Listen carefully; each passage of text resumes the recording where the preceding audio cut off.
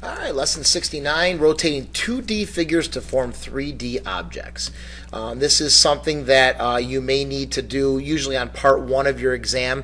These questions, once you get used to them, they're pretty simple, but um, think about, um, we, we talked about cross sections before, right?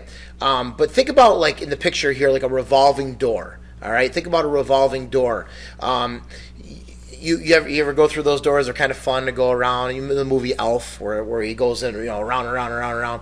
Um, anyways, you see how if you just look at one window pane, okay, I'm talking about this right here. Say this right here, just this, okay. It's actually just a rectangle. See that? And that's just rotating around this. It's rotating around the center of the door. It's rotating. And what's it actually making? What is the shape of the well? What's the shape of the well that the, that needs to be made? Well, it makes a circular shape, and the entire well that you're actually standing in, if you just walk in the door and just stand there, what are you actually standing in? You're standing in a cylinder. Okay? So a rectangle revolving around an axis creates a cylinder. And that's kind of what we're going to be looking at in this in this um, in this lesson. So here we go. A cross section of the door. See, a rectangle is a cross section where it's just the the door is a cross section. All right, and imagine imagine rotating that around the center of the door, and what's going to be created? It creates this shape right here. All right, so imagine as the door revolves, it filling the entire space of the cylinder. All right, so what's created from a rectangle revolving around um, an axis? A cylinder is created. All right, so that's kind of what we're doing, and and that this kind of so I'm just going to read this here. So a different way to fill space and create volume is to rotate 2D figures about an axis. The technique gets used quite a bit in higher math to determine the volume of a shape. In calculus, we find ourselves finding the area under a curve for all kinds of different shapes. This is great preparation for these ideas. So in calculus, you'll have to find the area under the curve, which is related to the volume of an object that could be created by rotating. It's kind of advanced for what we're doing now. But we just need to understand that if I have, see this shape right here? This right here? This general shape right here? And then I have, as long as I have an axis to rotate around, see this axis right here? if I rotate this function around that axis, look what's created. Okay, this horn shaped thing. So somebody who's going to design a horn, for example, all right, somebody who designs a horn, got to tell the tell the manufacturer how to make the horn. This is a mathematician or an, uh, an engineer who designs the horn. Okay, here's a here's a diamond model, a model of a diamond, right? Uh, and you, you've seen pictures like this before. Well, it's all a function rotating that creates that shape. Okay, this is just a basic function, and then the area under the curve, and then this is like you could think of this as like a a, a, a vase, right? Turned to the side. They, you know, it's just spinning around. So all I want you to do here is draw the the actual two-dimensional shape an axis of rotation that would result in each of the following. So here's here's the axis of rotation. We already kind of did this one. The two-dimensional shape is this right here. And I'm just kind of following that pattern and then doing that. Boom, that's it. There's the two-dimensional shape and there would be the area of the two-dimensional shape right there. That's basically all this color here. And then if it rotated around, it would create this three-dimensional object. Okay, this one here, if I had a an axis right down the middle, right down here, okay, and then I would just say, all right, um, I need a little curvature over here, and then I need it to go straight down. And that's gonna, and it rotates around that axis. Imagine rotating this right here. Imagine rotating this around that axis, around that line. What's gonna, what's gonna form? That's gonna form that diamond shape with the dome top. This one here, okay, basically that one's done for us. There it is, and then it would just be that right there, and then we would, so basically that one's already done. And then this one here, Okay, the two-dimensional, it would just be that right there, and then boom, boom. Okay, so you just need half of it, basically. And you rotate along the axis. Here's the axis right here. Rotate it around, and you would see that three-dimensional shape take form. All right, so that's kind of the idea of this lesson here. So determine the 3D solid that we form by rotating the cross-section. Well, because it's a rectangle, a rotating around, it's going to just be like that revolving door. So what's going to be created is a cylinder. Okay?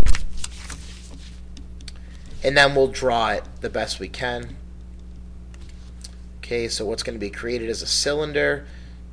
Boom, boom, boom. And that's just the circular thing just kind of shows the rotation. All right.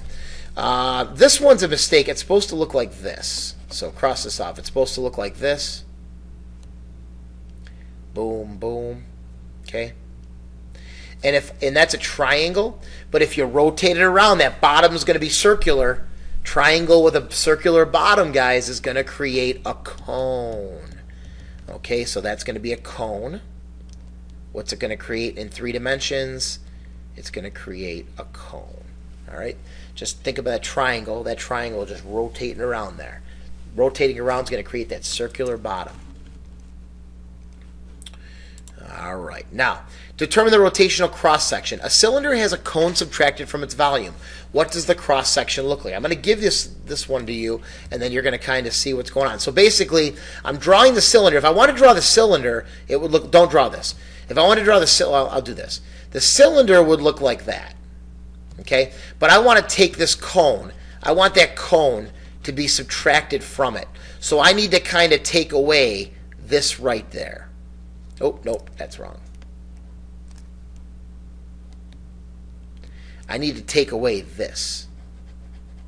Okay, this right here needs to be taken away. I got to get rid of that. So I want to be left with just right there. So what's going to be left is this triangular shape right here. Okay? Imagine rotating that around the axis. Imagine rotating that around. What's going to happen? You're going to get that circular base for your cylinder, but because there's air here, see there's nothing here? It's going to create that. It's going to create that um, that that open that open circle in the middle, that cone shape in the middle by having like a. It's almost like an inverted cone shape right there. So that's what it's going to look like. So you may have to be on a multi, on an exam have a multiple choice and say, all right, they'll give you, they might give you this, and you have to pick which shape that it would create. Or they might give you this, and then you have to pick which cross section it would look like. Okay, what the what the rotational symmetry would be. A potter creates pots and bowls using a pottery wheel. So another application, real life, right? It spins around, spins around, spins around. They're molding it, okay? But it's hollow on the inside. The wheel spins and the potter shapes the clay. From the picture below, create the rotational cross section the rotational cross section. So if this is right in the middle, so this M is right in the middle here, right in the middle. So what's got to be over here? Okay, so we're going to have to have. Um, you could do, you could just kind of it'll be like this. Okay, and then it's going to come straight down, go out a little bit, then it's going to go out and have that fat little piece there and then, oh, that's really bad. Alright. Something like that. And then it's going to go in. Alright. And then back to the middle. Okay? So something like that. And then we got to have the, um, we want it to be open, so I don't want that piece right there, actually. We want it to be open on, uh, on the top, so we don't want to connect it over. And we do want a little thickness to our pot, so we're gonna, I'm going to make this a little thicker. Just going to make that a little thicker. There we go. So now imagine rotating that around there, around, rotating around, rotating around, rotating around. It would create this pot with the, but it would be open. See how see how it? There's nothing here. There's nothing here. That means it's going to be open on top. Use rotation cross section to sketch the solid. All right, this one here. See how they gave you kind of one side right there, so we know it's going to be, and it's kind of hard. We know it's going to be something like that. All right, kind of go like that. And then it's going to rotate around. So we're going to kind of assume it does something like this. We don't know how far it goes. And then we're going to cut it back in and do the same thing on the other side the best we can. That was pretty bad. All right, something like that. Something like that when it comes back around. Of course, it would be symmetrical. This is not even close to symmetrical, so I need to redo that. Let me try and do this like that from each side, and then kind of go like that, and then kind of go like that. That's better. No, not still not great, but you get you get the idea. It rotates around. It's going to create that shape, and it's kind of like a vase. All right, it would create like a that vase, vase or vase, whatever shape, right there. Okay. Um, and that's about it. So now we're going to be doing these in class tomorrow, and uh, shouldn't take you that long. It's not that bad. Pretty simple. How the you know the rectangle, the triangle kind of creates the cone, the rectangle creates the cylinder, half circle is going to create a sphere, stuff like that. All right. So um, we will practice these in class tomorrow.